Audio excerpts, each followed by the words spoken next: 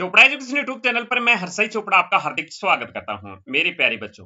Three most of states के registration start हो चुके हैं। इनमें कर्नाटका, गुजरात और पंजाब स्टेट है। मैं आपको इस वीडियो में इसकी स्टार्टिंग डेट लास्ट डेट और शेड्यूल के बारे में बताऊँगा और साथ ही साथ ये भी बताऊँगा कि आपको रजिस्ट्रेशन कैसे करना है। रजिस्ट्रेशन में क्या प्रॉब्लम आ सकती है और कौन कौन से डॉक्यूमेंट्स आपको अपलोड करने हैं, उसके बारे में भी हम इस वीडियो में चर्चा करेंगे।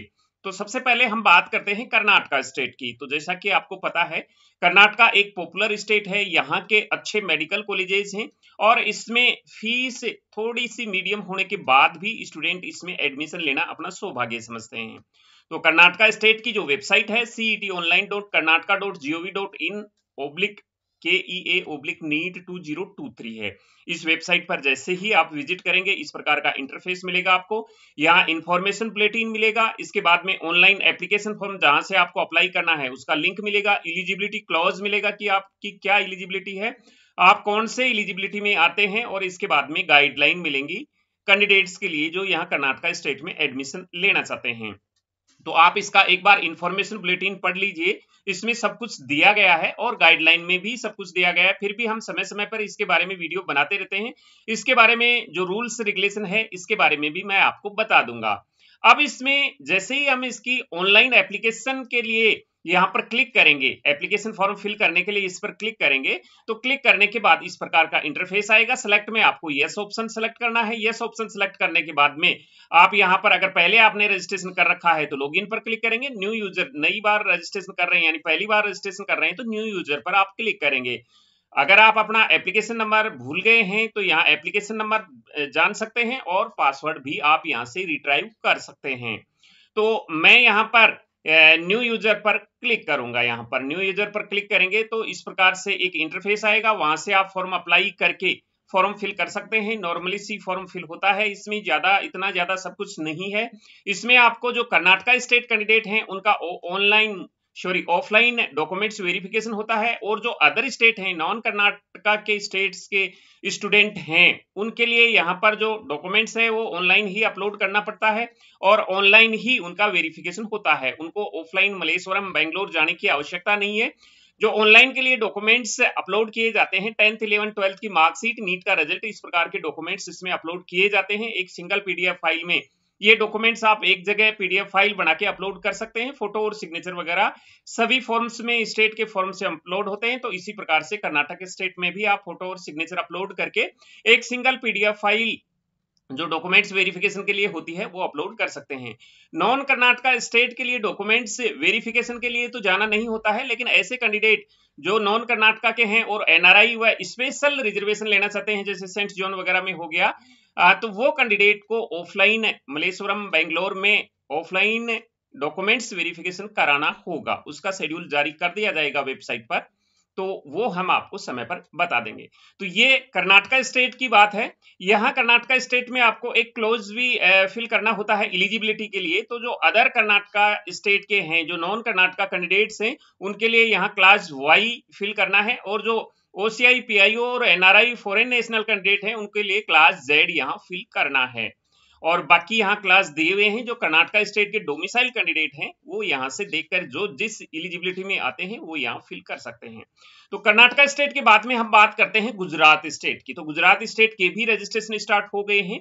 आपको पता है, गुजरात स्टेट में जो भी कैंडिडेट अप्लाई करते हैं उनके लिए पिन परचेज करना होता है और जिन कैंडिडेट ने इलेवन, ट्वेल्थ गुजरात से कर रखी है, वही कैंडिडेट यहाँ की डोमिसाइल रखते हैं।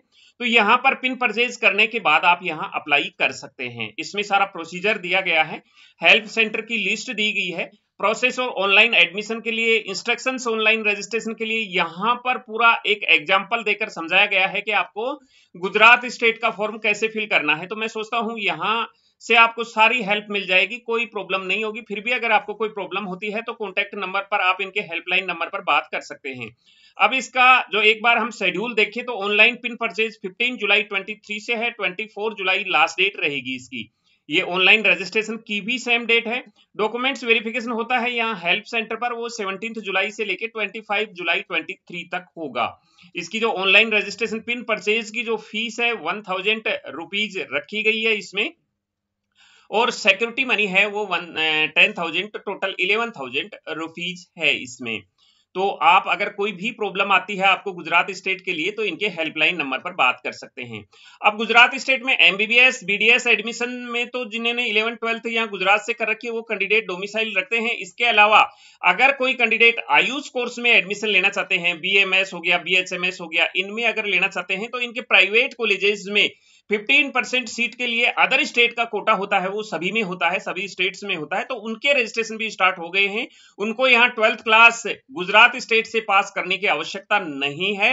ये किसी भी स्टेट से पास हो सकते हैं पंद्रह परसेंट आयुष के लिए इसमें एडमिशन ले सकते हैं और वो भी रजिस्ट्रेशन इसी समय करवाएँगे। B A M S Gujarat में 15 परसेंट यहाँ की प्राइवेट मेडिकल कॉलेज में एडमिशन लेने के लिए सॉरी प्राइवेट आयुर्वेद कॉलेज में एडमिशन लेने के लिए। गुजरात एक क्लोज स्टेट है कर्नाटका एक ओपन स्टेट है। अब बात करेंगे हम पंजाब स्टेट की। पंजाब स्टेट भी एक क्लोज स्टेट है, लेकिन यहाँ सेकंड राउंड से बीडीएस कोर्स के लिए अदर स्टेट कैंडिडेट भी एडमिशन ले सकते हैं। अगर वहाँ के बीडीएस में कोई सीट वैकेंट रही तो उस कंडीशन में अदर स्टेट कैंडिडेट एडमिशन ले सकते हैं। लेकिन यहाँ सीएमसी लुधियाना है, जिसमें five states all India candidates के लिए रखी गई है। उनमें कोई भी कैंडिडेट एडमिशन ले सकता है। ये एक प्राइवेट इंस्टीट्यूट है, लेकिन रेपुटेटेड इंस्टीट्यूट है, इसलिए हर एक कैंडिडेट का सपना होता है इसमें एडमिशन लेने का। फ़ीस ज़्यादा है, इसके बावजूद बावजूद भी इसकी काफ़ी कट ऑफ़ रहती है। अब पंजाब स्टेट की जो वेबसाइट है B F U H S dot A C dot in पर जैसे ही हम विज़िट करेंगे, इस प्रकार का इंटरफेस आएगा। Click here to apply online MBBS BDS admission under NEET UG 23 पर क्लिक करेंगे। यहाँ ये जो आपको इंटरफेस दिखाई दे रहा है, ये इसके ऑनलाइन पोर्टल का है रजिस्ट्रेशन पर क्लिक करेंगे। यहाँ पर आप प्रोस्पेक्ट भी डाउनलोड कर सकते हैं और आपने अप्लाई कैसे करना है, इसका भी दिया गया है सिस्टम और इंपोर्टेंट डेट्स के बारे में भी दिया गया है। इसमें 13 जुलाई से रजिस्ट्रेशन स्टार्ट है और 20 जुलाई 23 इसकी लास्ट डेट है। ऑनलाइन पेमेंट आप 21 जुलाई 23 तक कर सकते हैं। रजिस्ट्रेशन पर क्लिक करेंगे, जैसे ही रजिस्ट्रेशन पर क्लिक करेंगे, तीन स्टेप में ये फॉर्म फिल होगा। फिर रजिस्ट्रेशन फॉर्म करना है, फिर अपलोड फ़ोटो सिग्नेचर और अदर डॉक्यूमेंट्स करने, इसके बाद एप्लीकेशन फॉर्म का प्रिंट ले लेना है। सिंपल सा एप्लीकेशन फॉर्म है। इसको आप अप्लाई कर सकते हैं प्रोसीड नेक्स्ट पर क्लिक करके। तो ये तीन जो मोस्ट स्टेट हैं, उनके रजिस्ट्रेशन के बारे में था। अभी राजस्थान, हरियाणा, बिहार, उत्तर प्रदेश एमपी महाराष्ट्र। इन स्टेट्स के भी रजिस्ट्रेशन जल्द ही स्टार्ट हो जाएँगे। वेस्ट बंगाल उत्तराखंड और हिमाचल के फॉर्म भी जल्द स्टार्ट हो जाएँगे। तो जैसे ही ये फॉर्म स्टार्ट होंगे, हम आपको इन्फॉर्म कर देंगे। मिलेंगे नई अपडेट के साथ नए वीडियो में। तब तक मैं हरसाई चोपड़ा आपसे लेता हूँ विदा। जय हिंद।